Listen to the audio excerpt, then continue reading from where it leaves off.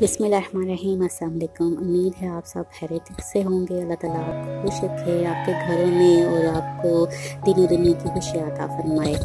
तो आज हम बनाने जा रहे हैं फ्रूटेला शेक। तो उसके लिए हमें क्या क्या चाहिए? सबसे पहले एप्पल लेंगे, स्ट्रॉबेरीज लेंगे और हम इसमें ऐड करेंगे बनाना। कॉकटेल फ्रूट लेंगे, मिल्क लेंगे। तो ये सारे इंग्रेडिएंट्स हमारे शेक में डलने वाले हैं। सबसे पहले हम ब्लेंडर में डालेंगे एप्पल इसके बाद हम इसमें बनानास डालेंगे। फिर हम इसमें स्ट्रॉबेरीज ऐड करेंगे।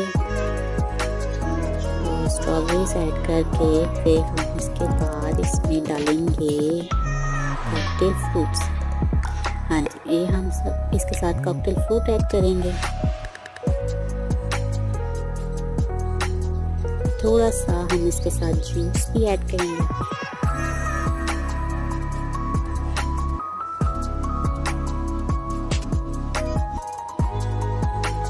एक ग्लास दूध इसमें डालेंगे। इसमें हम शुगर डालेंगे one and half tablespoon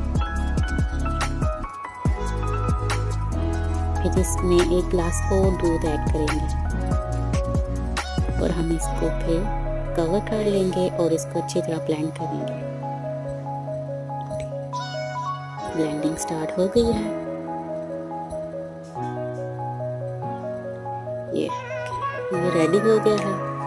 इसको खोल के चेक करते हैं। जी। मिल्क शेक रेडी हो गया है। अब हम इसको ग्लास में डालेंगे।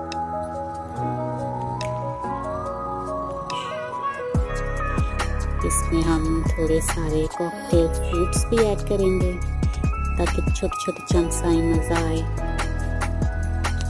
ये चीज़ हमारा फ्रूटेला शेक तैयार हो गया है। अगर आपको हमारी वीडियो पसंद आई है तो हमारे चैनल को लाइक करें सब्सक्राइब करें हमारी वीडियोस को।